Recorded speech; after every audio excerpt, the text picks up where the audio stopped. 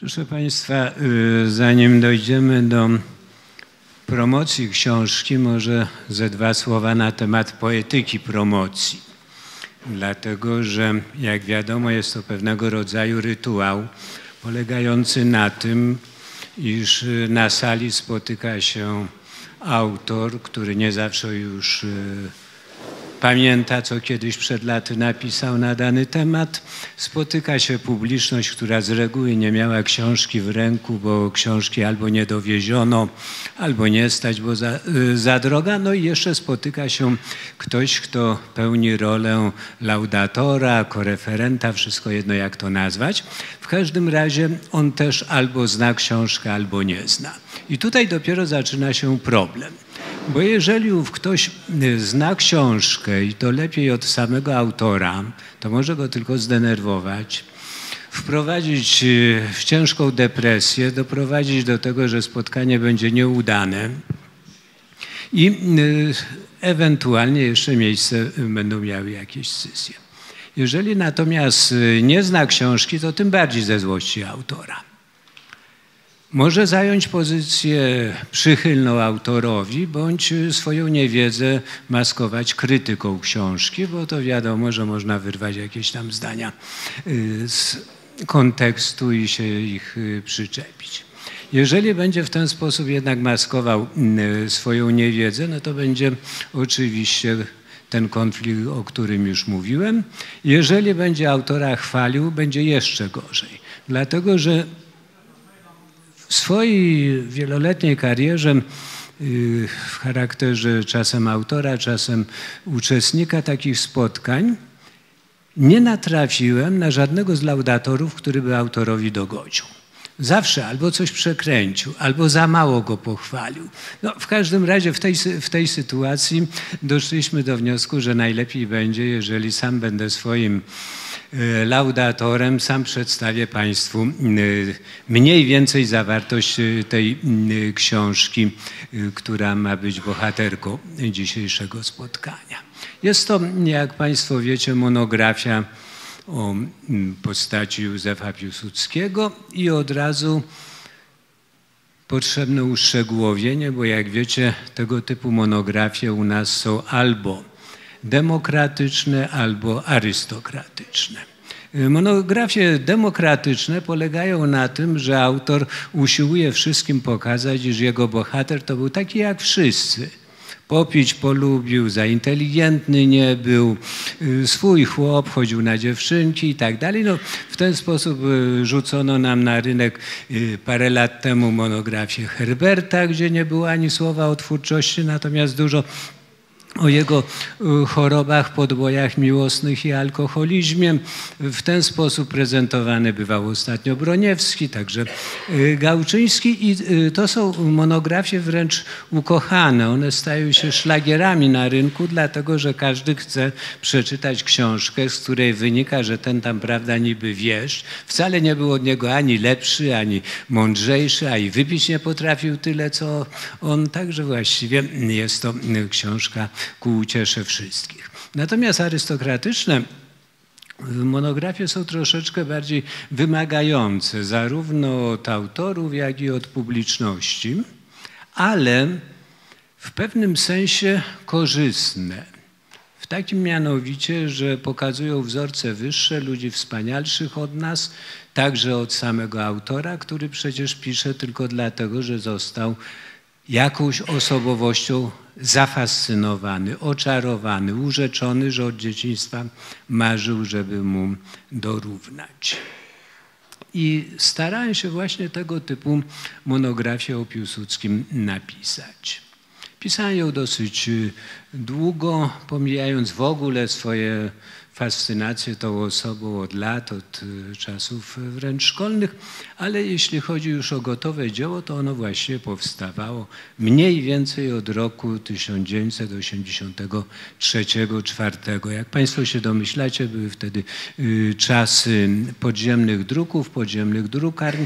Ja dostałem od przyjaciela Edka Kirpluka wręcz zamówienie, żeby zrobić y, wybór z pism Piłsudskiego. Mieliśmy takie ambicje, żeby w wydawnictwie podziemnym słowa podziemnego wydać Piłsudskiego, wydać księdza Popiełuszkę, wydać antologię poezji podziemnej i tak dalej. No, nie do końca wywiązałem się z tego zadania, aczkolwiek nie z mojej winy, po prostu Edek poszedł siedzieć, straciliśmy tak zwane moce przerobowe i dopiero tę książkę wydał mi Andrzej Ostoja.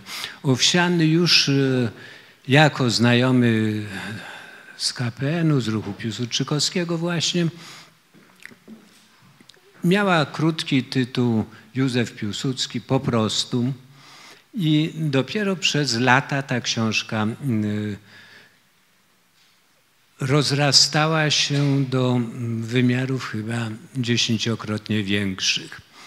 W pewnym momencie, gdy wydawało się, że już jest e, troszeczkę odwilż, był 88 rok, e, były e, strajki, gdzieś tam w tle już zaczynały się przymiarki do Magdalenki, postanowiłem to, co było możliwe wydać w takim wydawnictwie katolickim Pelikan – Złożyłem to.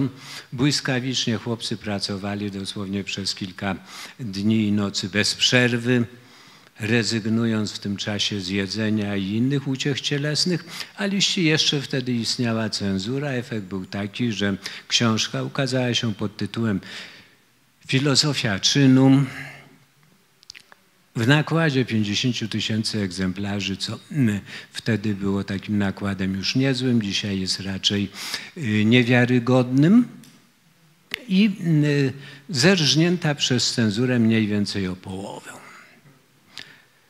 co, y, co robi y, w takiej sytuacji pisarz? No oczywiście zaokrągla tą drugą część i wydaje ją w podziemiu i tak zrobiłem. Także ta część oficjalna, legalna wyszła pod tytułem Filozofia y, czynu w kolorze brązowym z rzeźbą Wittiga na okładce. Natomiast druga część w tymże samym kolorze tyle tylko, że z rzeźbą Laszczki, ale też y, y, podobizna Józefa Piłsudskiego y, wyszła w podziemiu. Mniej więcej objętość też była zbliżona, no tyle tylko, że jedna rzecz trochę przekroczyła naszą wyobraźnię, mianowicie nie sądziliśmy, że zabraknie nam brązowej farby. Także ta część legalna była w brązowej, część nielegalna częściowo w takich ładnej, ładnych tycjanowskich brązach, ale potem już musiała być normalnie na czarno, bo nie mieliśmy tej brązowej farby i stąd y, gdzieś w różnego rodzaju notach biograficznych Państwo znajdziecie y, taką no, w gruncie rzeczy pochlebną dla mnie wzmiankę, że y, ta książka jako człowiek pośród legend miała dwa wydania podziemne. Nie. Miała jedno, tyle tylko, że no w momencie, y, w pewnym momencie trzeba było tę y, farbę brązową zastępować czarną, ale to jest dokładnie to samo, y, ten sam skład, te, dosłownie pokrywa się treść w 100%. I dopiero po latach w wydawnictwie Alfa udało mi się to syntetyzować i wtedy wyszło pierwsze wydanie Piłsudskiego, dwutomowe, bardzo eleganckie troszeczkę chyba zamilczane przez y, różnego rodzaju gremia, y, gremia polityczne. Natomiast no, do dzisiaj y, było jako jedyne na rynku. Teraz wyszła książka, której się troszeczkę bałem, bo nie bardzo sobie wyobrażałem, żeby z dwóch tomów jeszcze tam z różnymi dodatkami czynionymi po drodze zrobić jeden gruby tom jest to mm, w tej chwili o tyle uciążliwe, że pociąga dodatkowe koszta. Na przykład y, księgarnie muszą dodawać takie wózki na kółkach, żeby to, y, to wozić. No, kłopoty z y, promocją są zawsze trudne, bo na promocję no, można przydźwigać dwa egzemplarze, trzy egzemplarze, ale więcej no to już nie wiadomo. Kiedyś księgarnie i ten, ten ruch wydawniczy miał dużą pomoc ze strony naszych przyjaciół z Ukrainy, ale oni w tej chwili mają już inne zajęcia, więc rzecz jasna też nam pomóc nie mogą. Y, tyle o tej, y, o tej książce i o jej formie y, fizycznej. Natomiast przechodząc do, do treści, chciałem uzasadnić, dlaczego właśnie Piłsudski kiedyś było takie ładne szkolne pytanie, za co należy kochać. Więc za co należy kochać Piłsudskiego, czy też za co ja go może mm, nie tylko pokochałem, byłem wręcz olśniony jego no, osobowością i dlaczego go mm, y, tak y, cenię. Uważam, że był najwybitniejszym y, z Polaków, najwybitniejszym człowiekiem w naszej historii. Był także twórcą. I chcę w tej swojej wypowiedzi właśnie akcent postawić na to słowo twórca, z dwóch powodów. No po pierwsze, rzeczywiście stworzył wiele rzeczy, których przed tym w życiu społecznym, w życiu politycznym, przed okresem jego działalności nie było. Po drugie, daje mi do tego prawo także i fakt, że on sam uważał siebie za reprezentanta nurtu twórczości, uważał, że istotą duszy ludzkiej jest tworzenie, że po prostu no, człowiek, jeżeli przestaje tworzyć, to znaczy już jest osobnikiem chorym, niejako zdegenerowanym. Inaczej mówiąc, Piłsudski, gdyby myśleć o nim w kategoriach właśnie filozoficznych, był po prostu klasycznym reprezentantem polskiej filozofii czynu, czy też polskiej filozofii twórczości, bo terminy te bywają stosowane zamiennie. Z tym, że różnił się od większości tych y, filozofów y, tym, iż y, swoją teorię wprowadził w życie. Większość poprzestawała na teorii, aczkolwiek niektórzy próbowali, chociażby Mochnacki czy Dębowski. Jeżeli chodzi o sfery twórczości w przypadku człowieka, no to zawsze mamy do czynienia z dwoma. Z jednej strony świat fizyczny, z drugiej strony świat duchowy. Dzisiaj używa się określenia wirtualny. Ale y, tak czy inaczej, no człowiek y, zawsze pozostaje mieszkańcem obu tych światów. I wydaje mi się, że Piłsudski potrafił w obu tych rzeczywistościach dokonać bardzo znaczących, bardzo istotnych przemian. W przypadku twórczości społecznej. Jest to twórczość no, w dziedzinie bardzo mm, delikatnej. Materia ludzka jest najbardziej wrażliwa, czasem jest tempa, nieprzewidywalna, oporna, jak y, sami ludzie i tutaj działalność polityka, a kimś takim przecież y, był Piłsudski, przypomina troszeczkę działalność reżysera teatralnego, Tyle tylko, że również na wyższym poziomie, z większymi skutkami, bez tej klauzuli umowności. No poza tą jedną generalną umownością już cała kultura jest pewną sferą konwencji. Jeżeli jednak na to się zgadzamy, to dalej już jesteśmy w sferze nieomal arystotelesowskiej prawdy. Piłsudski w świecie polityki, w świecie tej ludzkiej materii Y, dokonał dwóch y, bardzo ważnych zmian. Po pierwsze, zmienił charakter Polaków. Po drugie, zmienił rodzaj polskiej wspólnoty. Na tych dwóch punktach chciałbym się y, teraz skoncentrować, aczkolwiek wiadomo, że to, o czym będę mówił, ten charakter Polaków z cywilnego od razu dopowiem na militarny Piłsudski dokonał militaryzacji Polaków. Jest to oczywiście także szeroko rozumianą działalnością społeczną. Ale zajmuje miejsce osobne ze względu na to, że Polacy w czasach, gdy Piłsudski zaczynał swoją działalność, byli y, społeczeństwem całkowicie cywilnym, całkowicie wręcz y, chorym nieomal zdegenerowanym, zrozpaczonym, ckliwym społeczeństwem, którego działalność y, głównie się wyrażała poprzez y, uroczystości żałobne, msze ku czci, żegnanie starych towarzyszy walki. Natomiast od roku 63, czy powiedzmy z poślizgiem 4, Polacy nie walczyli, nie znali komend wojskowych, z wyjątkiem tych Polaków, którzy służyli u zaborców w wojsku. To był zresztą jeden z punktów wyjścia rozumowania Piłsudskiego, który uważał, że zaborcy mogą nam wyszkolić y, szeregowych, natomiast my weźmiemy się za szkolenie oficerów. Zanim jednak do tego doszło, Piłsudski musiał przejść bardzo, e, bardzo daleką e, drogę. Zaczynał od poszukiwania siły. Pierwsze odruchowe nieomal jego działania były typowo polskimi działaniami młodego człowieka, który wie, ma to nieomal w genach, że jak idzie do szkoły, to tam należy spiskować, założyć tajną bibliotekę, y, trochę y, poknuć i y, Piłsudski zaczął działać w grupie, która nazywała się Spójnia której twórcą, wbrew legendzie, bo e, Piłsudski tyle zrobił, że nie trzeba mu e, do, dodatkowych rzeczy e, dopisywać. Twórcą nie był sam Piłsudski, był Witold Przegaliński, troszeczkę starszy od niego. Potem tą spójnią kierował starszy brat Piłsudskiego, a w końcu przewodnictwo w grupie przejął sam przyszły marszałek. Tu jeszcze może jedna dodatkowa informacja, no to było to Gimnazjum Państwowe w Wilnie.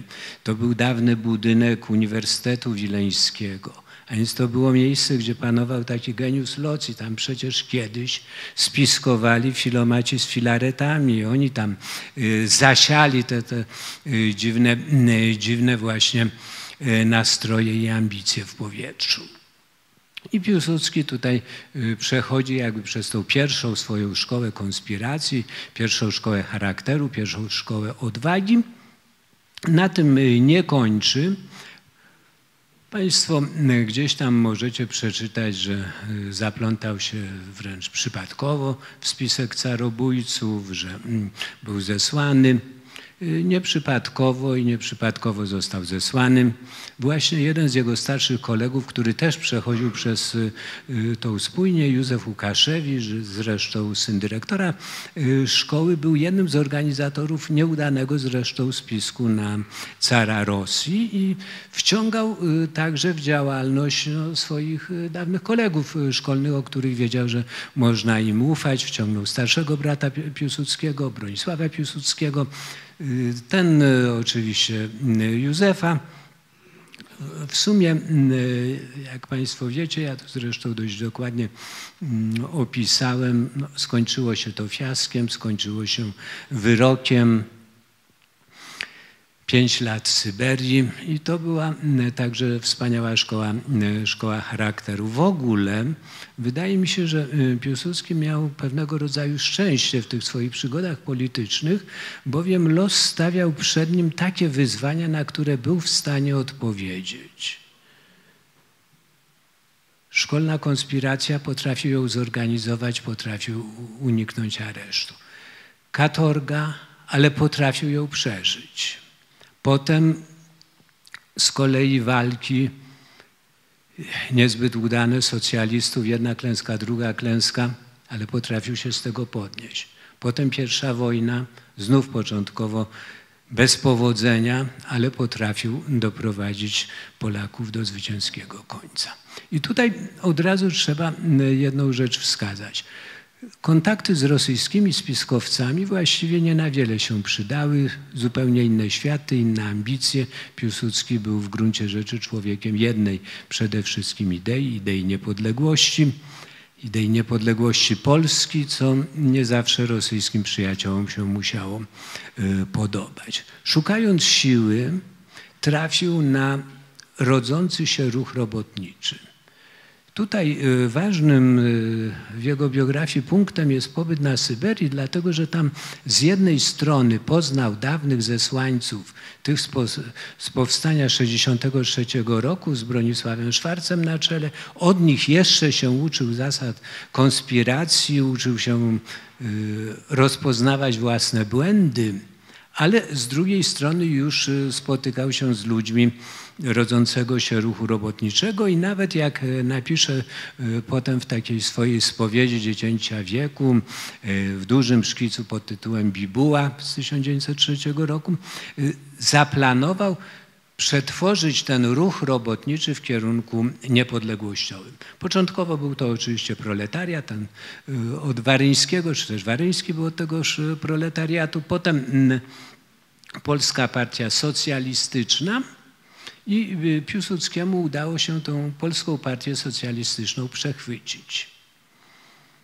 Wszedł z paroma przyjaciółmi jako tak zwana sekcja litewska.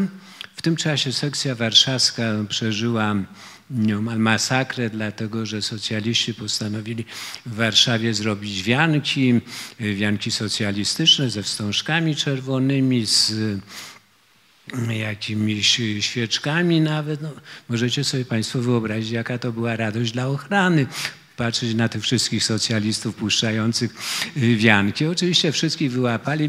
W pewnym momencie właściwie ta mm, warszawska część PPS-u y, no, ledwo zipie, trudno nazwać to działalnością. Ta litewska sekcja z Piłsudskim na czele zaczyna dominować. Oni także zaczynają wydawać pismo Robotnik, y, którego głównym redaktorem, a w pewnym czasie i nierzadko jedynym autorem bywał y, sam Piłsudski.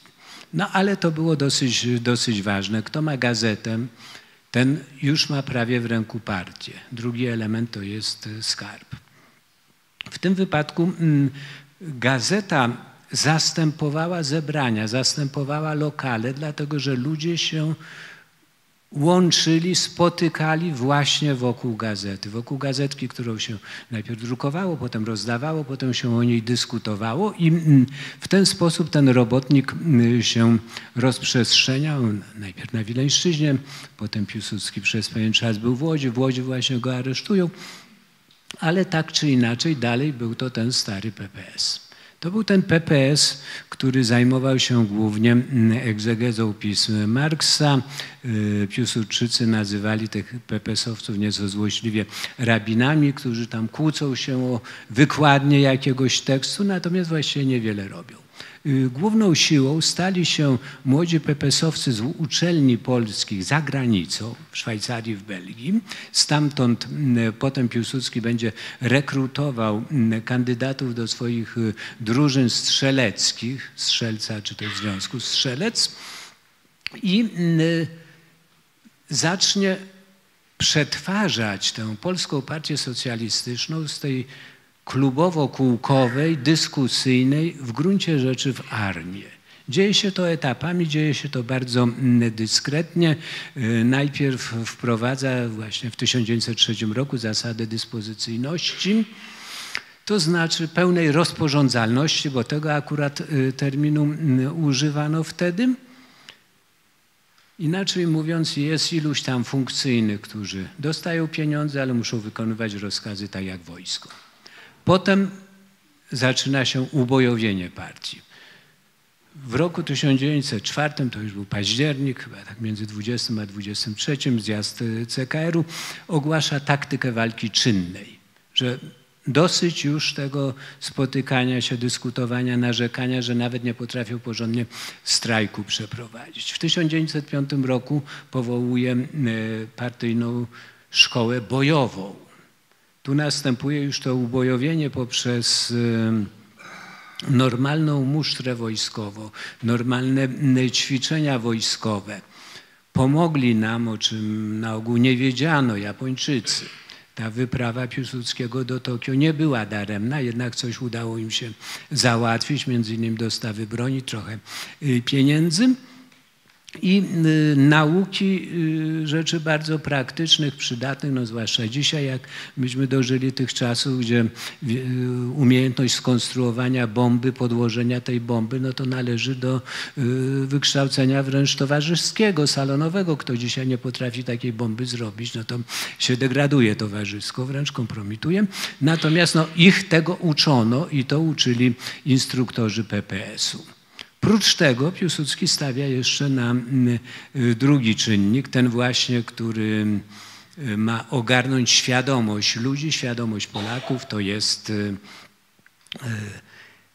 sprawa agitacji, sprawa propagandy, głównie już w kierunku niepodległościowym bardziej niż socjalistycznym i gdy mm, któryś z partyjnych aktywistów nawet na jednym ze spotkań Piłsudskiemu zwraca na to uwagę, no to on mówi, że no, Marksem nie można zabić ani jednego rosyjskiego żołnierza. Natomiast on zna książki, dzięki którym można się tego nauczyć.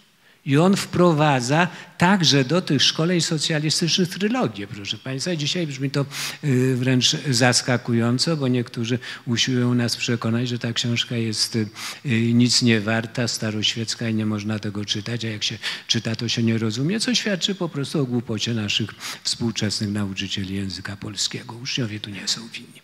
W każdym razie Piłsudski prócz tego oczywiście wprowadza naukę regulaminów, sam mm, także kiedyś był zafascynowany Napoleonem, więc y, y, wykłada jego y, taktykę i strategię. I to wszystko są kolejne kroki, dzięki którym no, powstaje wspaniała najpierw organizacja techniczno-bojowa, potem bojowa, potem PPS frakcja rewolucyjna, która za każdym wcieleniem coraz bardziej przypomina tajną armię i rzeczywiście jest tajną armią, która już ma broń. Jeżeli mm, popatrzymy tak od strony statystyk, w 1906 roku, ten y, rok największego natężenia akcji, mm, e, y, za, y, zamach no, nie całkiem udany na Nelkena, akcja mm, e, pod Rogowem, jeszcze wcześniej w listopadzie piątego roku Plac Grzybowski, to wtedy mamy dość dużą grupę ludzi, nawet niewyobrażalnie dużo, bo liczba bojowców zbliża się powoli do tysiąca, to jest z reguły tam 800 z czymś. Jest pewnym paradoksem, że jest trochę więcej broni niż bojowców, bo w pewnym momencie mają 1400 sztuk broni. No ale mm, czasem, y, czasem i tak y, bywa.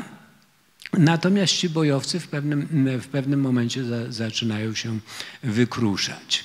Y, Piłsudski jeszcze decyduje się na taką bardzo mm, widowiskową i konieczną z punktu widzenia finansowego akcję, o której chciałem mm, kilka słów powiedzieć. Mam na myśli akcję pod Bezdanami. Y, dlaczego ona jest taka ważna? Po pierwsze, finansowo okazała się najbardziej korzystną z akcji i uratowała finanse partii, bo mm, no z finansami partii to było tak jak y, dzisiaj z tymi naszymi stowarzyszeniami, do których wszyscy należymy. Rzadko chodzimy na zebrania, już absolutnie nikt nie płaci składek. Więc tam też y, te składki partyjne były trudno ściągalne i raczej jeżeli to tych studentów gdzieś tam biednych w Genewie czy w Zurichu, natomiast no, tacy normalni członkowie to raczej y, nie brudzili sobie rąk pieniędzmi wpłacanymi do kasy partyjnej. Więc trzeba było te pieniądze zdobyć. Akcja pod Rogowem była jedną z takich udanych akcji. Stał na jej czele Montfił Mirecki, później mm, zginął na Cytadeli. Natomiast akcja pod Bezdanami o tyle się łączyła ze sprawą Mireckiego, że była szansa wykupienia go.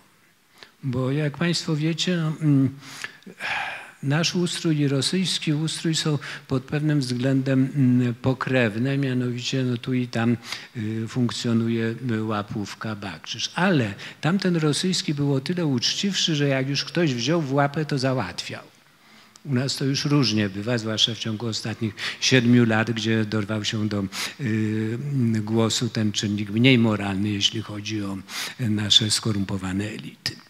I y, niewiele brakowało, żeby tego mm, Montfiła Mireckiego wykupiono. Niestety za późno trochę. Y, najpierw po prostu dano pieniądze niewłaściwej osobie, ale y, większość tych pieniędzy, mm, pieniędzy ocalono i te pieniądze potem poszły już na budowę zarówno tajnego Związku Walki Czynnej, jak i y, na finansowanie y, nadbudówek, y, to znaczy Związku Strzelec, Związku Towarzystwa Strzelec. Mm, Lwów, Kraków, te dwa ośrodki dostawały pieniądze, nawet o tym nie wiedząc, partyjne.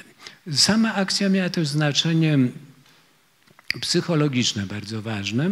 Dla Piłsudskiego także była jednym z momentów przepracowania charakteru, dlatego że Piłsudski spotykał się czasem z zarzutami, czasem sam miał mm, wyrzuty sumienia, że wysyła ludzi na śmierć, a y, nie walczy. I y, bezdany to był właśnie ten moment, w którym on zdecydował się iść na akcję, walczyć, stanął na jej czele, przed tym napisał niezwykle piękny, niezwykle dramatyczny list do Feliksa Perla, który potem został jego następcą w robotniku. I tą akcję przeprowadził w sposób wzorcowy wręcz.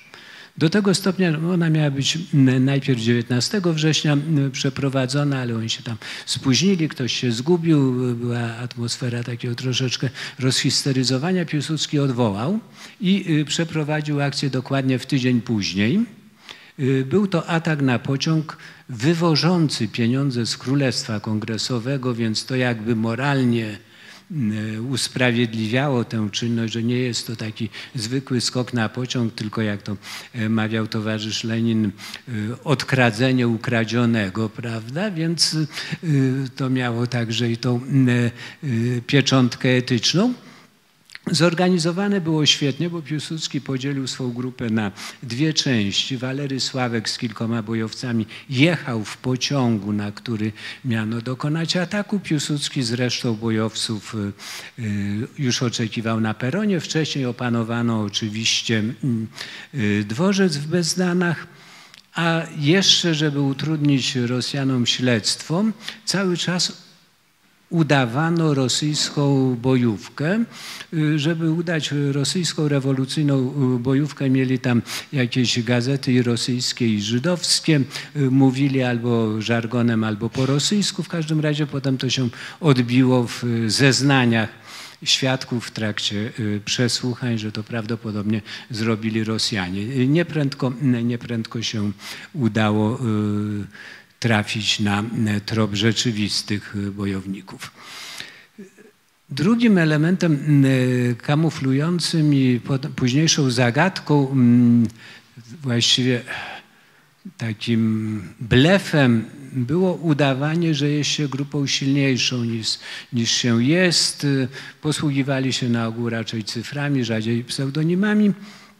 I w pewnym momencie, gdy trzeba było zdobywać jeden z wagonów już najbardziej opancerzony, y, Piłsudski y, zagrał wabank, zagrał mm, dosłownie pokerowo, y, udając, że ma bombę. Nie miał bomby, oni wszyscy byli mm, uzbrojeni w browningi, mm, ale on podszedł tam do wagonu i wręcz krzyknął po, po rosyjsku Atwari, a nie to bombu broszu i zaczyna odliczać 10, 9, 8. Przy siedmiu Rosjanie wyszli, oddali co mm, e, Polacy zażądali. No zażądali oczywiście mm, pieniędzy, papierów, resztki mm, broni. Akcja odbyła się bez strat własnych. Aresztowania nastąpiły później wskutek różnego rodzaju czasem przypadków, czasem zdrady, e, zwłaszcza niejakiego Tarantowicza. Na Tarantowiczu zresztą bojowcy wykonali potem wyrok śmierci. O czym może jeszcze za chwilę, bo dość też była to taka widowiskowa scena. Tutaj, żeby skończyć ten wątek, akcja pod Bezdanami przyniosła najwięcej, bo około 300 tysięcy rubli. Otóż w różnego rodzaju sprawozdaniach oficjalnych i mniej oficjalnych spotyka się kwotę 200 tysięcy i w ten, y, w ten sposób y, trafiamy na ślad y, tego, że do kasy PPS-u nie wszystko zostało przekazane, bo jak powiedziałem, poszło na te kółka młodzieżowe, na Związek Walki Czynnej, na rozbudowę struktur galicyjskich. Rachunki rosyjskich y, komisarzy, bo tam cała komisja przyjechała, były jeszcze bardziej mm, zawikłane. Im wychodziło, że y, ci bandyci, jak ich nazwano, no to ukradli tam według jednego ze sprawozdań, to nawet chyba ta kwota e, doszła do 477 tysięcy rubli, wliczając papier. No Państwo, mm, skoro mówimy o mm, rosyjskich e, urzędnikach, e, mogą się domyśleć, na czym to polegało. No, po prostu korzystając z okazji, jeszcze w ostatniej chwili troszeczkę dokradli, prawda, z tego, co tam ubyło i już w rachunkach wykazano znacznie wyższe wyższą kwotę. Natomiast tak jak między innymi Pobóg Malinowski mm, przyjmuje po rozmowach zresztą z większością uczestników tej akcji, on wydał specjalną książkę e, potem na ten temat, około 300 tysięcy zdobyto. Te pieniądze oczywiście się przydały, uratowały funkcjonowanie y, bojówek pepesowskich, a z tego podziemnego, podziemnego państwa. Natomiast Tarantowicza y, rzeczywiście wykończono i to mm, w sposób taki troszeczkę, mm, powiedziałbym, nadający się do powieści kryminalnej, dlatego że umówiono się z nim na spotkanie w Rzymie i przedstawiono mu jako propozycję możliwość wyjazdu do Ameryki. On się na to, na to zgodził, przyznał się do wszystkiego, popłakał.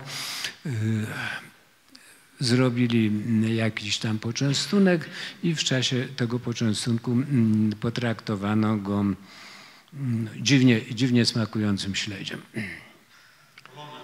Nie, właśnie nie. Ten, ten śledź nie był, nie był zatruty, ale wywoływał takie, takie pieczenie, że trzeba było popić wodą i Tarantowicz był jedyny, który z tej karawki się napił. No i w ten sposób odszedł już do innego świata. Także tutaj ten wątek, wątek się kończy. Natomiast no, Piłsudski oczywiście działa dalej, te struktury wojskowe narastają, związki strzeleckie się zamieniają potem w organizację już która wyjdzie walczyć jako pierwsza kadrowa, potem przemieni się w legiony. I sam Piłsudski zdawał sobie sprawę z tego, jak bardzo on przemienił tych ludzi. Poczynając od pierwszych takich akcji, tak zwanych jednominutowych czy dwuminutowych, bo to różnie nazywano, które polegały na tym, że paru wystraszonych socjalistów wybiega na ulicę, rozwija czerwony sztandar, wykrzykuje dwa hasła, po czym go zwija i szybko ucieka, bo się boją po prostu. No oni nigdy w życiu tego nie robili, a potem robią to coraz odważniej. Potem potrafią wyjść z pistoletami strzelać do kozaków, przeprowadzać zamachy. Także on zmienił charakter ludzi, którzy stali się potem kadrą Wojska Polskiego, kadrą Legionów i to był także czyn, z którego on sobie znakomicie zdawał sprawę. Jest piękny jego rozkaz na pierwszą rocznicę wybuchu wojny, gdzie on przypomina tym ludziom, którzy wyszli razem z nim walczyć, jako było, byli słabą grupką, wystraszoną, niewierzącą w siebie, jak oni się zmienili, jednocześnie no, wzywając do walczy, dalszej walki.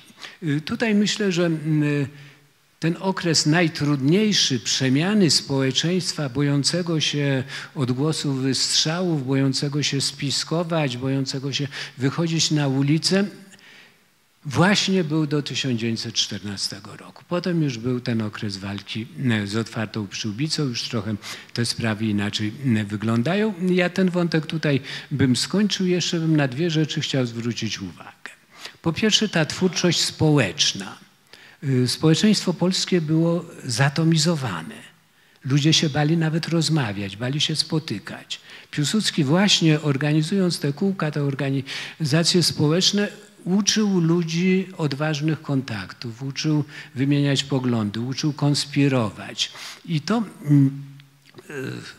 widać było zarówno w tych organizacjach młodzieżowych, jak i potem w pierwszej kadrowej. Na jedną rzecz chciałbym zwrócić uwagę. Mianowicie, gdy rusza pierwsza kadrowa, ruszają strzelcy. Jeszcze wtedy nie mówiło się o legionach. Legiony zostały niejako Piłsudskiemu narzucone, czy też podsunięte jako deska ratunkowa wręcz. W każdym razie tych pierwszych kilka dni idą strzelcy, czekają, że w kraju będzie powstanie i traktują teren, na który wchodzą jako teren wyzwalany. Wchodzą do Słomnik wchodzą do Miechowa, do Jędrzejowa, do Wielkiego Książa. I co tam robią? Zakładają komisariaty wojsk polskich. To były pierwsze polskie rządy. To były pierwsze organizacje społeczne już y, opanowujące jakiś teren. Byli tam najdziwniejsi ludzie. W Słomnikach najpierw, najpierw tam takim komisarzem był jeden z młodych malarzy y, z Krakowa. W Książu Wielkim był bodajże Jerzy Żuławski, ten filozof od od Spinozy, przyczynowości u Spinozy, ale także autor powieści science fiction, no właśnie na Srebrnym Globie, to jest jego, jego dzieło. Przyjechał Wasilewski, on organizuje pierwszą drukarnię. Gdzieś tam w Starachowicach wydają y, pierwszy wyrok śmierci na szpiegu. Y, zachował się ten dokument, y, powieszonym był niejaki Abraham Racimora, przy czym nie jest ważne nawet to kto i dlaczego, bo szpiegów było więcej, ale jest to demonstracja polskiego aparatu sprawiedliwości na tym terenie. Tak jak gazetki robione przez Wasilewskiego, ulotki były pierwszą polską prasą na tym terenie. I y, tutaj to państwo polskie już zostaje budowane, to już się robi taki Piemont, przyczółek, no, aż do Kielc włącznie, gdzie jednak no, ponad 1200, 1200 y, ochotników do tych y, oddziałów Piłsudskiego już wstępuje. Także tutaj dalszy ciąg prac wykonywany jest często przez tych samych ludzi. Ci, którzy byli gdzieś tam komisarzami, gdzieś organizowali y, teren, oni potem y, stają się już urzędnikami nowego państwa polskiego. Także po tej sferze, po tym wielkim dziele militaryzacji polskiej świadomości mamy do czynienia z drugim dziełem społecznym Piłsudskiego, dziełem uspołecznienia Polaków, nauczenia wspólnej pracy, nauczenia tego, że państwo to nie jest coś obcego, to jesteśmy my, to są nasi delegaci, nasi koledzy, którzy muszą w interesie wspólnoty dobrze pracować. Dlatego nigdy nie było wśród Piłsudczyków y, problemu, czy, czy państwo, czy naród. No, naród był y, twórcą, państwo było dziełem tego twórcy, tak jak rzeźba jest dziełem, dziełem artysty. I nic, y, nic tutaj specjalnie do czasów endeków wątpliwości intelektualnych nie miał. Natomiast y, trzecia dziedzina, o której już tak na zakończenie słów parę, to jest dziedzina, y, chciałoby się powiedzieć, legend polskich. Chciałoby się powiedzieć polskiego sakrum. Dlatego, że mm, jest to dziedzina no, niezwykle subtelna, czasem niezauważalna, ale jednocześnie łącząca Polaków we wspólnotę systemem wartości systemem odwołań, wspomnień. Piłsudski miał niezwykłe szczęście, bo to, że ktoś y, staje się kimś, zależy po części od jego charakteru, jego ambicji, ale także trochę i od szczęścia. Piłsudski miał to szczęście, że przyszedł na świat no, w rodzinie dość bogatej, ziemiańskiej, miał dwie bony, od razu go jedna uczyła francuskiego, druga niemieckiego i tak dalej. Y, poza tym była to rodzina powstańców styczniowych. Jego ojciec był komisarzem rządu narodowego na okręg kowieńskim. Tu specjalnie na to zwracam uwagę, dlatego że y, gdzieś tam upowszechniono określenie, że na, y, na powiat rosieński, potem ktoś wygrzebał, że tam był kto inny, ergo to jest nieprawda. Prawda, tylko pomyłka. Y, te sprawy wyjaśnił swojego czasu w pamiętnikach już dawno Giedroyć. Piłsudski miał też e, szczęście, że wychowywał się w świecie literatury romantycznej. To była rodzina, w której mówiono wierszami, mówiono dramatami. Piłsudski znał na pamięć i Redutę Obro, Ordona, i do Matki Polki, i Śmierć pułkownika. E, te wartości, które płynęły przez dramaturgię Słowackiego, przez Krasińskiego, były mu dostarczane od dzieciństwa. To był niezwykle ważny element jego wychowania, a potem spójniak, y, którą on zasila właśnie domowymi książkami, staje się elementem wychowania w legendach całej grupy. Oczywiście były tu jeszcze y, wątki osobiste. Jego ojciec chrzestny był powstańcem.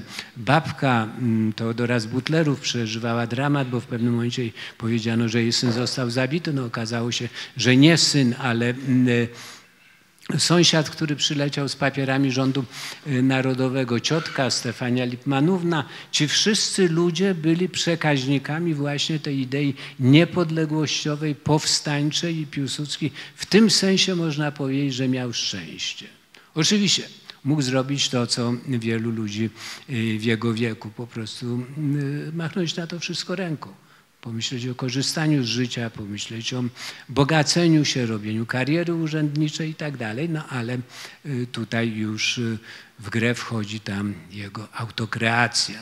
Każda, każda kreacja jest zarazem autokreacją. I on tworzy ten y, świat polskich legend w pewnym momencie w sposób bardzo świadomy. Do pewnego momentu, do pewnej chwili legendy jakby nim rządzą to w gruncie rzeczy legendy mu podpowiadają działalność w spójni. jakby legendy zsyłają go y, drogą na Sybir. Ale w pewnym momencie może, możemy nawet wskazać dokładnie, mm, kiedy Piłsudski zaczyna sam posługiwać się legendami. Y, było to dokładnie 6 sierpnia 1914 roku. Y, tego dnia już strzelcy idą, już zajmują tam słomniki, natomiast Piłsudski wraca na zebranie NKN-u i tam y, przedstawia dokument Rządu Narodowego w Warszawie. Dokument podpieczętowany pieczątką tegoż Rządu Narodowego, y, dokument mianujący jego wodzem tego powstania, wzywający wszystkich do powstania. No, ten dokument, jak Państwo się możecie domyśleć, był y, fikcyjny. Y, robił go jeden z podwładnych Piłsudskiego, Sokolnicki, późniejszy senator Rzeczypospolitej, nasz poseł Wankarze nawet, y, dyplomata. Wyrzeźbił to scyzorykiem w miękkim kamieniu na wzór pieczęci z roku 1863, ale ta pieczęć działała. Piłsudski się zorientował, że magią 1863 roku, jej spoiwem był mit rządu narodowego, była pieczęć rządu narodowego. I tą pieczęcią on w pierwszej chwili się posługuje. No potem oczywiście to już y, nie było, nie było potrzebne. Y, po jakimś czasie, jak to się mówi, prawda, y, zaczęła wychodzić na jaw, aczkolwiek nikt się specjalnie nią nie interesował. Natomiast legenda legionów rosła już w inny sposób. Ja wspomniałem o zajęciu Miechowa, o stworzeniu tam komisariatu wojsk polskich. Miechów był zajęty bez wystrzału, Rosjanie uciekali wtedy ale pojawiły się wspaniałe y, kartki, y, gdzie widać, jak Polacy bohatersko zdobywają miechów. Tam y, kozacy padają trupami niezwykle gęsto albo uciekają, domy płoną. No oczywiście to wszystko fikcja, ale ta fikcja zaczyna działać. Ludzie ulegają tej fikcji i myślę, że na szerzenie się legendy le Legionów i Piłsudczyków wpłynęło w dużym stopniu także i to, że była w tej organizacji właściwie wojskowej nieproporcjonalnie duża ilość artystów. Rzeźbiarzy, malarzy, no Ryśmigły był przecież e, malarzem, Żuławski, o którym e, e, przed chwilą mówiłem, ale przecież był Kaden Bandrowski, potem no jeden z ostatnich naszych naprawdę wielkich pisarzy po Żeromskim.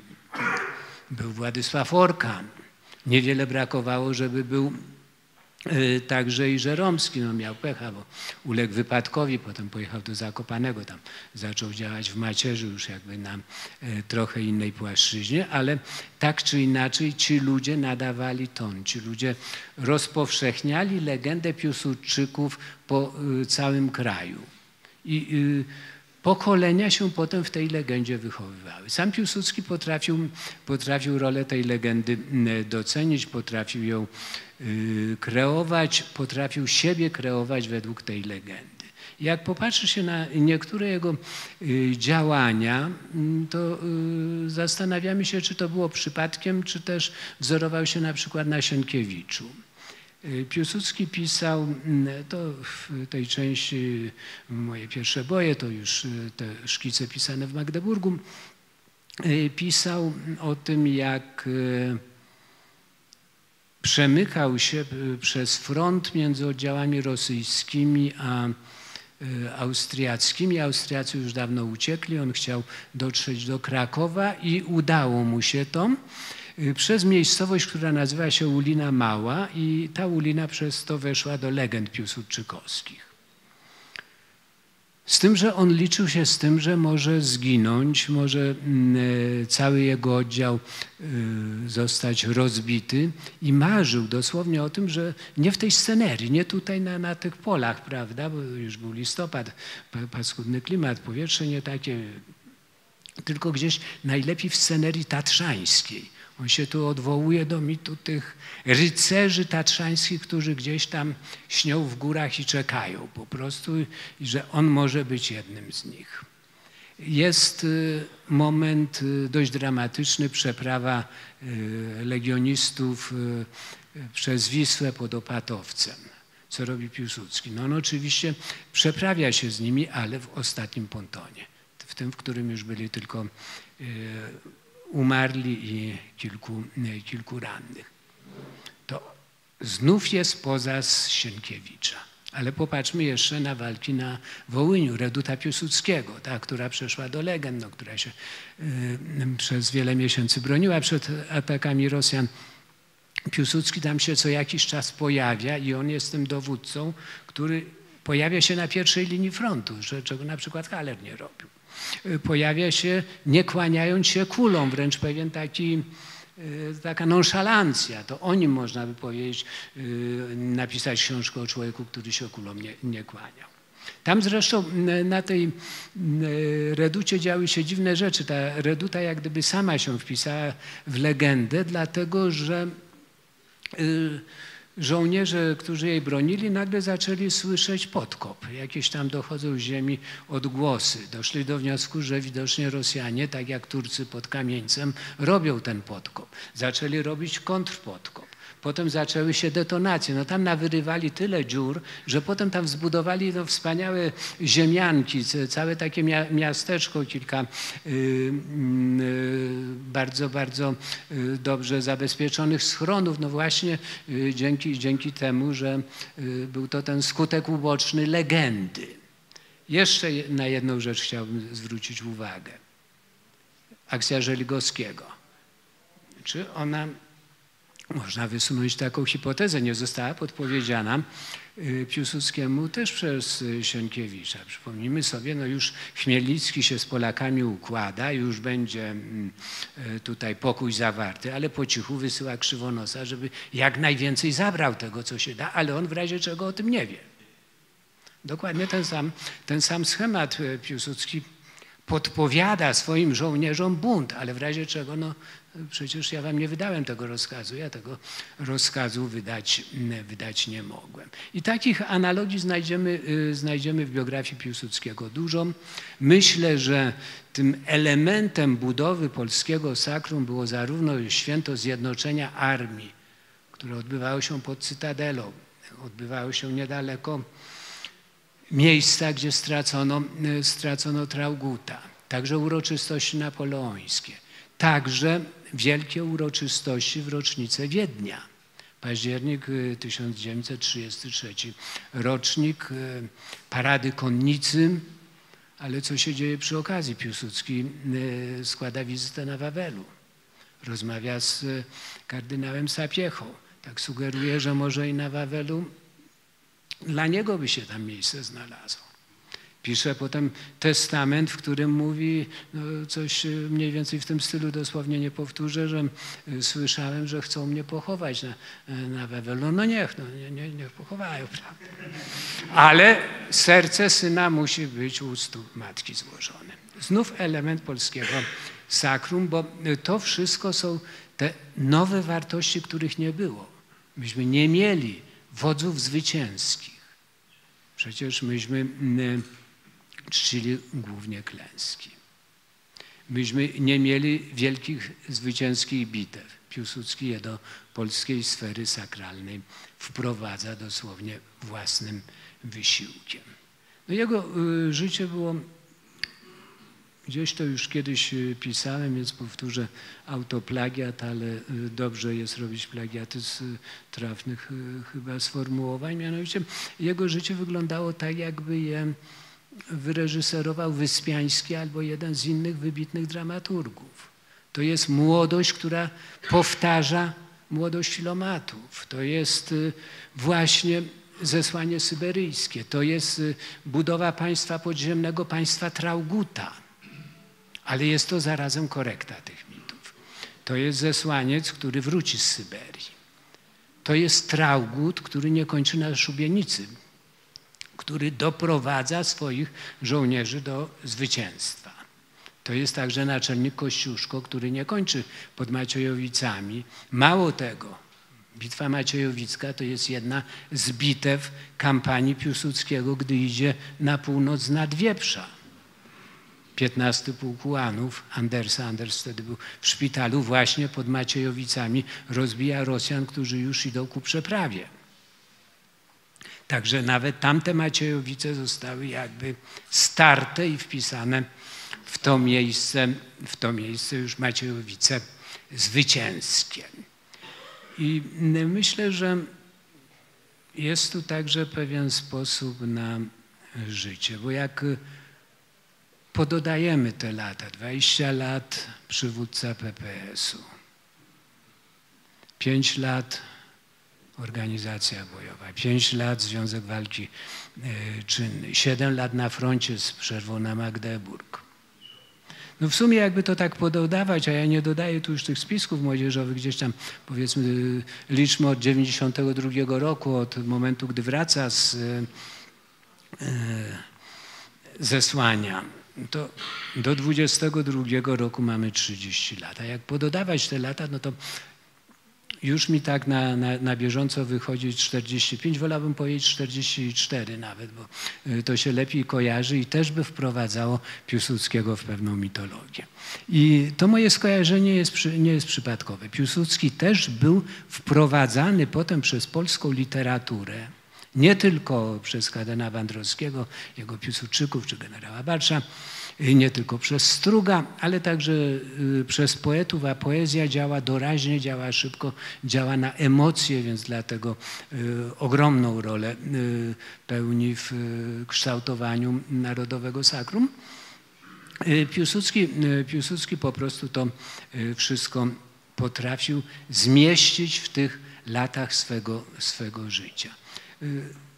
Na prawach anegdoty mm, żeby udowodnić, że Piłsudski był właśnie tym mężem 44, jeden z wybitnych historyków o znanym zapewne Państwu nazwisku Marek Rapaport wydał y, książeczkę pod tytułem Imię jego 44, w których udowodnił, że to o niego chodziło. Dlaczego? Kiedy dzieje się akcja y, dziadów? No, rok 1823.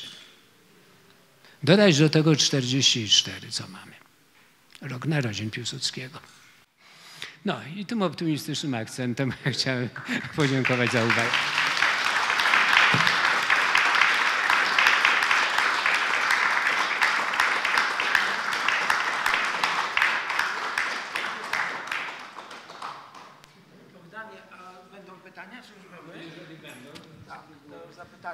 Czy będą pytania, bo potem będzie podpisywanie. To zacznijmy tak, pan Andrzej. Szanowny, drogi panie Bogdanie, ja panu przede wszystkim dziękuję serdecznie za ten piękny esej, gawędę o marszałku, o pana książce. Słusznie, że nie, że nie było tu żadnego recenzenta. Tym bardziej panu dziękuję, że ta książka pana to przecież hołd oddany także żołnierzom marszałka, legionistom. I myślę, mam tą satysfakcję, że ta książka oddaje też hołd mojemu ojcu, pełwiakowi, legioniście Józefa Piłsudskiego, uczestnikowi wojny polsko-bolszewickiej. Ale też ta książka przywołuje moje rodzinne tradycje. Jak Pan to mówił, to, to w pamięci mojej przywołałem, szkoda, że nie wziąłem pamiętnika mojego brata, osiemnastoletniego chłopca, żołnierza Armii Krajowej, rozstrzelanego pawiaku, który swojej wizji, marzenia o wolnej Polsce zapisał Przyniosę ten pamiętnik, bo chciałbym to panu przeczytać. Takie słowa, marzenia, że po wojnie ci Zachodu, którzy walczyli za Polskę i my tu, którzy chwaliliśmy w kraju, na, gdy odezwą się wawelskie dzwony, staniemy i złożymy raport na Wawelu wielkiemu Polakowi. I trzeci, i trzeci obraz, który przywołuje to pamiętam 12 sierpnia 1944 roku, gdy palił się mój dom, podwale 4, mieszkania 4 lub placu zamkowego, gdy musiałem wychodzić z domu, który był placówką Armii Krajowej, a nad biurkiem wisiał portret wielkiego marszałka. Do dziś żałuję, że nie mogłem go wziąć w swoje małe ręce. I jeszcze raz Panu dziękuję za te wielkie dzieło, za to, że Pan przybliżył i utrwalił nie tylko marszałka, ale przecież jego żołnierzy. I w zasadzie na tym powinienem skończyć, ale, ale jeszcze jedna kwestia. Jak Pan przyjmuje dzisiaj w wolnej, podobno i niepodległej, jak się mówi Polsce, ten, ten trudno powiedzieć spór, ale odgrzewany ciągle i wylewane pomyje na marszałka. Nie bójmy się powiedzieć tego. Ten decki jad, który nie będę tu cytował tytułów, nie ma czasu, ale przecież to istnieje, gdzie się nam y, stara przekazać jakąś nową wizję Polski i to już parotomową. Szczęść Panu Boże za te wielkie dzieło. Dziękuję Panu.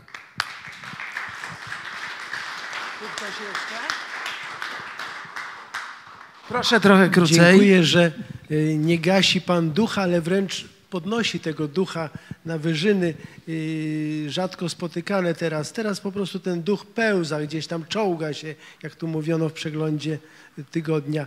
Ale mam pytanie, czy trochę nie drżało Panu pióro, czy też palce na klawiaturze, kiedy doszedł Pan do roku 26? I do piątego miesiąca. Tak. Do maja. Mhm. Mogę się? Aha, mogę, dziękuję.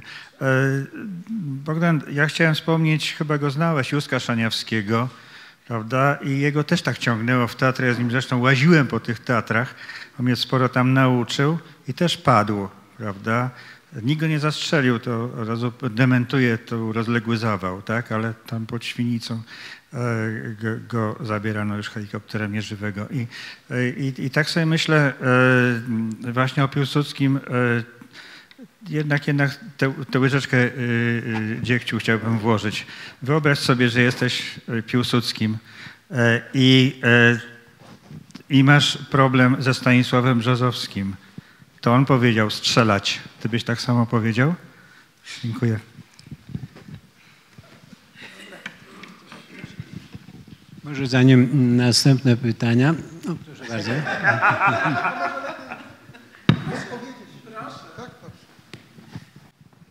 Postaram się e, skrótowo, e, skrótowo przedstawić e, moją całą listę pytań, skupić się na zagadnieniu tworzenia, twórczości, autokracji, na tworzeniu legend. Ktoś nieżyczliwy mógłby powiedzieć, że tworzenie legendy polegało również, czy brało się również z tego, że umiejętnie, czyli twórczo, E, potrafił e, wychodzić z perypetii różnych politycznych i organizacyjnych, e, które wynikały z jego niezdolności przewidywania przyszłości i z, nie, z licznych nieudolnych działań. Tu jako przykłady podam rozłamy, czyli powstanie tej pierwszej PPS Piłsudskiego po, odrzuceniu przez resztę programu ZZSP, E, potem powstanie PPS, frakcji rewolucyjne, rozpad e, e, Komisji Skonfederowanych Stronnictw Niepodległościowych, to to wszystko było postrzegane przez Piłsudskiego najpierw jako porażka organizacyjno-polityczna, ale jakoś spadał na cztery nogi. Wcze no, wcześniej wyprawa do Japonii, której efektem chyba jedynym pozytywnym były odwiedziny Yoshiwary, E, strzelcy uratowani dzięki mediacji e, prezydenta Leo i, i e, akcji propagandowej dzięki prolongacie o, o, o trzy dni nakazu no, wkomponowania strzelców do, do Landszturmu. e, prometeizm zupełnie się nie udał, zwyciężyła faktycznie praktyka polityczna, e, pokazała endecka e, e, koncepcja inkorp, inkorporacjonistyczna e, i, i Rosja, i Białoruś, i, i Litwa. No i na koniec despotyzm po, po roku 26 zakończony e, konstytucją e, wprowadzoną kuchennymi drzwiami e, za sprawą Aleksandra Cara. E, I ostatnie zdanie już. E, e, Więc faktycznie konstytucja oznaczała zduszenie życia politycznego, wzmocnienie parlamentaryzmu, a sam już Piłsudski na tym nie skorzystał, czyli ostatnia porażka jego życia. Dziękuję. Czy jeszcze są pytania po tej stronie? Mam nadzieję, Stefan. Nigdy nie dłużej, Józek. Ja myślę, że e, zwycięstwo pił marszałka i twoje, Bogdan, bo e, duch e, marszałka idzie w górę. Przeczytaj, co ostatnio powiedział Wróbel, Ruber, e, koncern Agora i Liceum Bednarska, ten taki publicystą, nau, nauczyciel. Dobrze, pan mówił, teraz ja mówię. Więc powiedział Wróbel, że on wcale Berezy Kartuskiej by tak nie potępiał, on wręcz uczniom ją broni. My o tym wiemy. To trzeba subiektywnie ocenić i obiektywnie. Subiektywnie można mieć jakieś tam e, estetyki, e, e, etyczne problemy, ale e, biorąc pod uwagę całość, ofensywę komunizmu, e, dywersję agenturalną i e, zagrożenia państwa, stać go było na radykalny pomysł Berezy. Dzisiaj by też się przydało.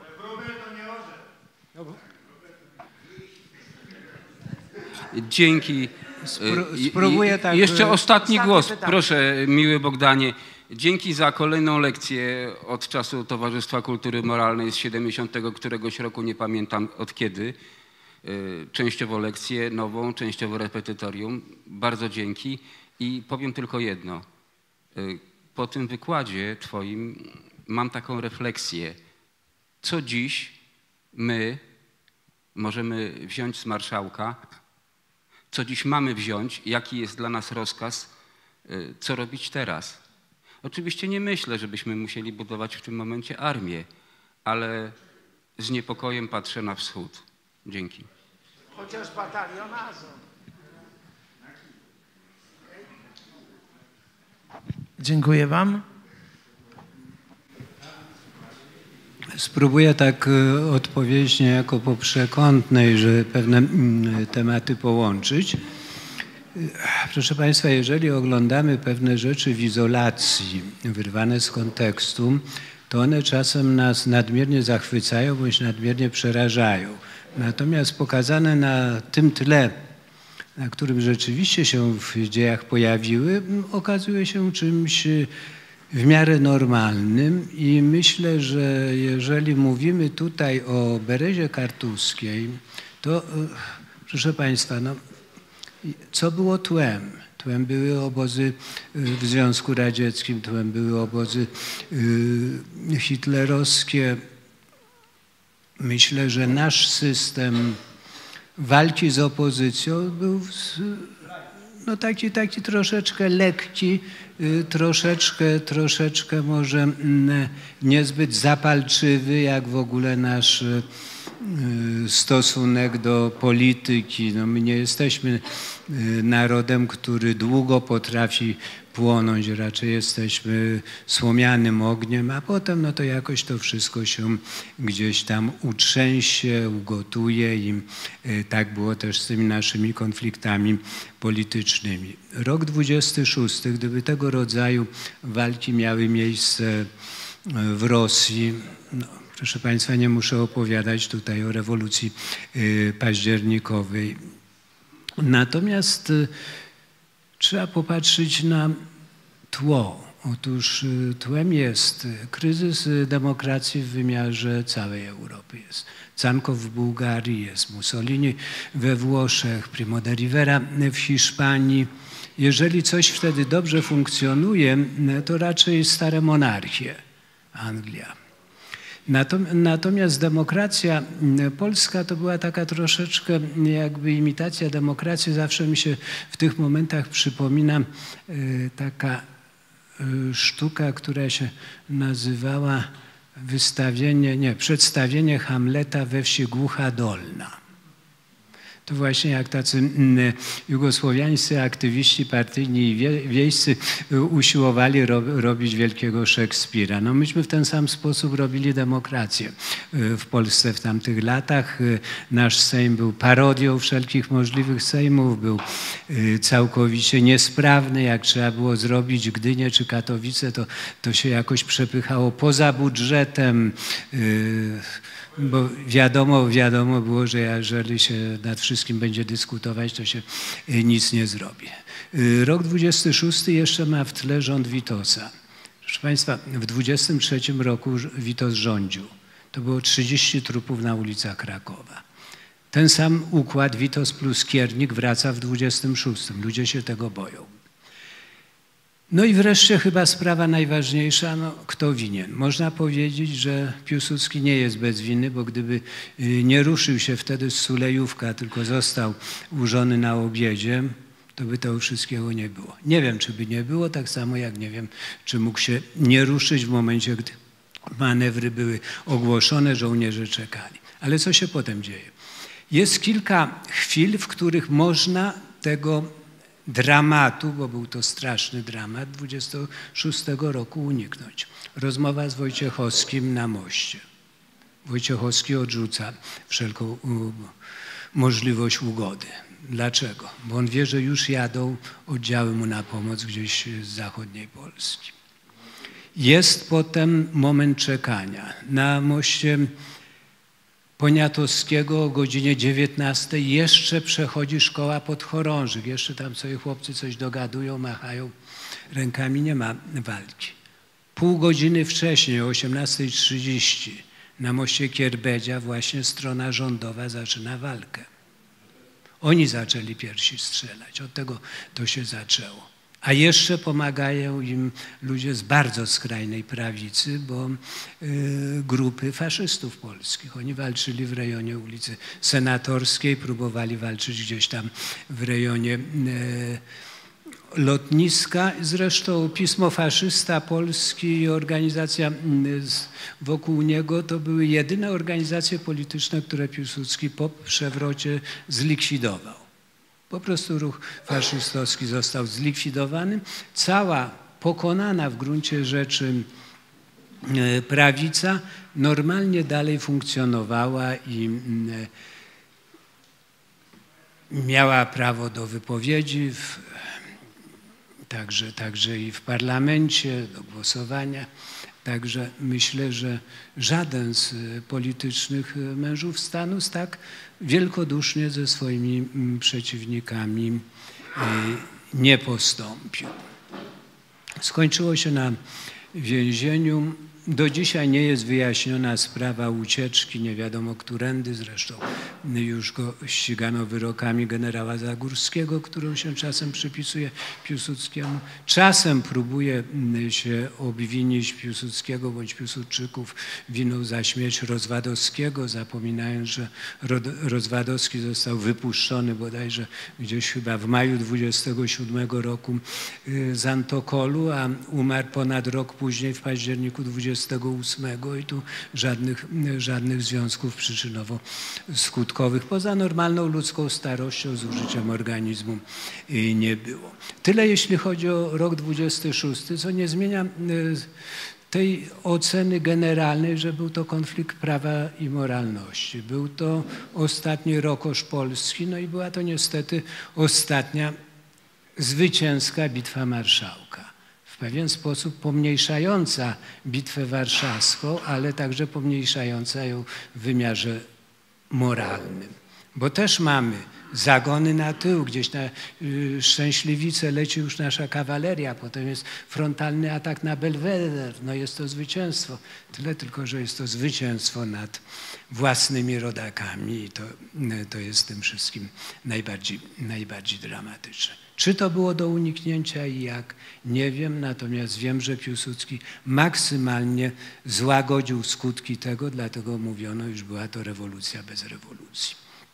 Jeżeli chodzi o mm, sprawy no, mniej, y, mniej kontrowersyjne, mianowicie tą zrealizowanie jednak programu endeckiego, inkorporacji, a nie mm, y, programu federalnego Piłsudskiego. Wydaje mi się, że po prostu na federację było trochę za wcześnie i do federacji zawsze potrzebne są przynajmniej dwie strony. Litwa Kowieńska nie chciała się przyłączyć. Owszem, Litwa Środkowa to był ten obszar przejściowy.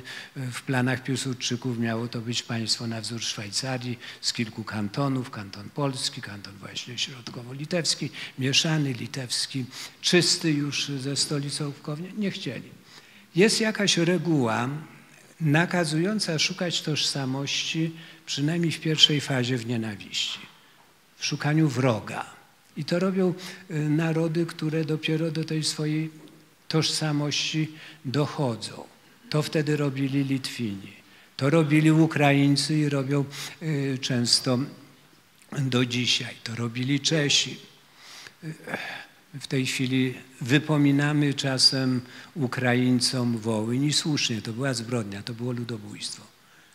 Ale jeżeli popatrzymy na innych sąsiadów, o ileż większe zbrodnie popełnili Rosjanie, o ileż większe Niemcy a Żydzi w UB, a Czesi, którzy nas mordowali na Zaolziu, a Litwini na Ponarach.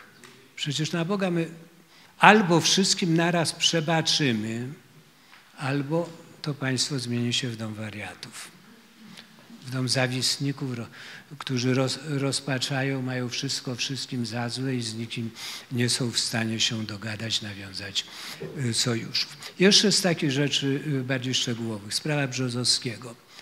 Piłsudski miał wątpliwości. Po prostu dowody były dość przekonywające. Sami wiemy, jak to y, bywa dzisiaj, no tak do końca nie wiadomo, do kiedy Bolek był Bolkiem, a do kiedy nie. Y, Brzozowski mniej zawinił chyba niż Bolek. Jego materiały dostarczane ochranie to były taką typową grą. On próbował się wykręcić, coś tam ogólnie oświetlił, a jak tylko mógł, to wyjechał do Galicji.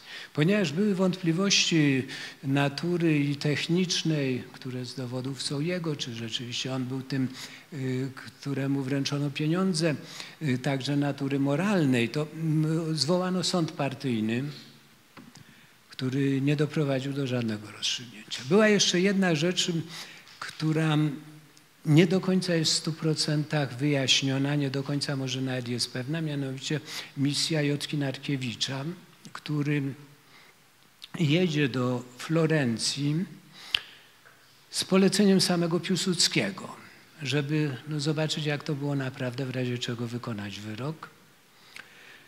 No i jak wiemy, Jotko Narkiewicz wyroku nie wykonał. I to jest jakby jedyny ślad tego stosunku e, Piłsudskiego do tamtych spraw. A teraz jeszcze, jeszcze sprawa mm, endecji, sporu naród, e, państwo, ojczyzna, patriotyzm, nacjonalizm.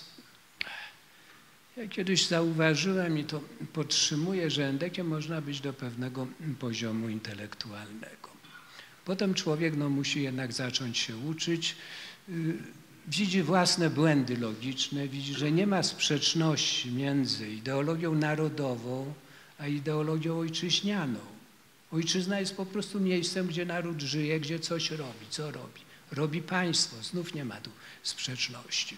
Myśmy do absurdu rozdali spory, u których y, dna kryją się albo spory y, personalne, albo koncepcje polityczne już w tej chwili y, bardzo odległe i nieaktualne. Spory personalne, no to oczywiście rywalizacja Piłsudskiego z Dmowskim. Rywalizacja nie tylko w dziedzinie politycznej, bo tam dość szybko Piłsudski wygrał, po prostu on był na miejscu, on dowodził, on został naczelnikiem, ale także i w y, dziedzinie bardzo osobistej o względy pięknej pani, Marii e, Skoplewskiej-Juszkiewiczowej.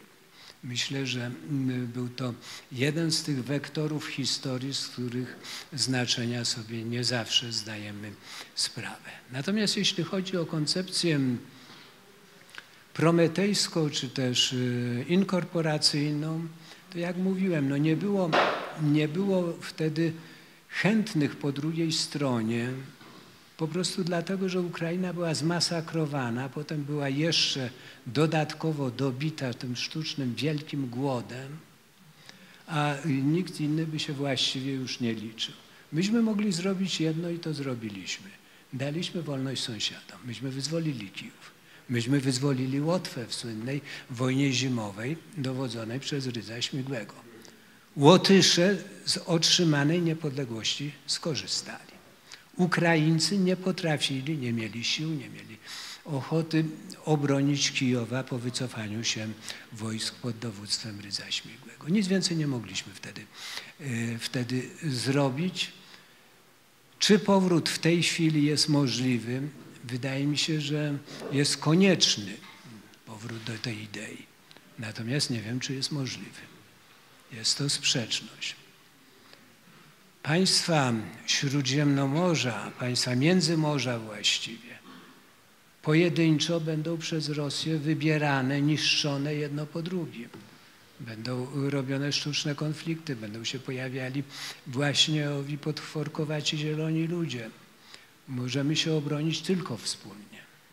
Ale tutaj niestety, no trzeba powiedzieć sobie, mordowaliście nas na Wołyniu, ale teraz, no, jeżeli my sobie nawzajem nie, y, nie pomożemy, to Rosjanie wymordują najpierw was, potem nas. Myślę, że chyba te najważniejsze, najważniejsze pytania już y, odpowiedziałem na nie, a jeśli ktoś jeszcze będzie miał jakieś problemy, chęć przedyskutowania, no to, to jeszcze jestem. No. Jeszcze, jeszcze jakiś czas będę, może nawet parę lat.